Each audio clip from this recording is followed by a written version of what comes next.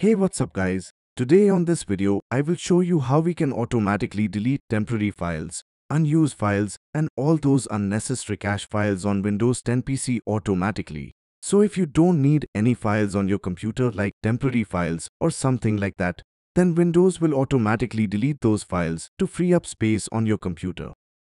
So let me show you how we can do that.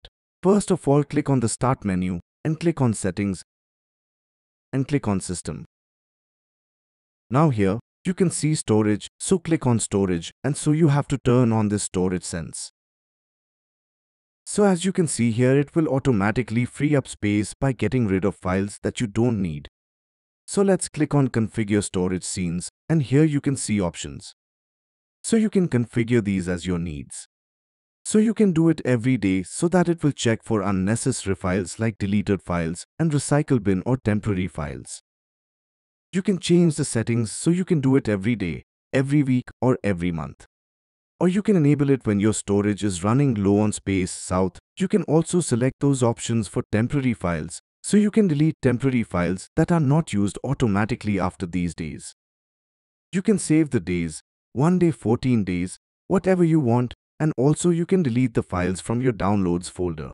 So you know if you change the setting from here to 14 days, then it will automatically delete the downloaded files on your downloads folder every 14 days. So for now I'm going to do 14 days for downloads folder and 14 days for temporary files and every week on storage sense so you can click on clean now.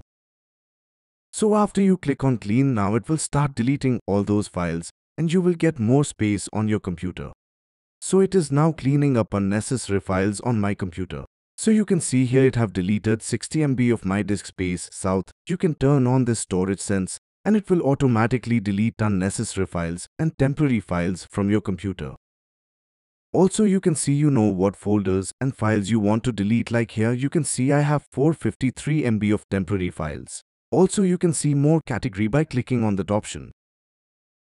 So you can see all these file size here. So here my computer have 453 MB of temporary files. So I can delete those temporary files from here.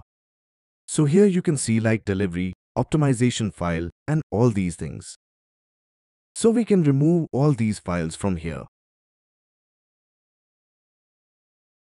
So this is how we can automatically get more space on our computer by removing all those unnecessary files. Please subscribe us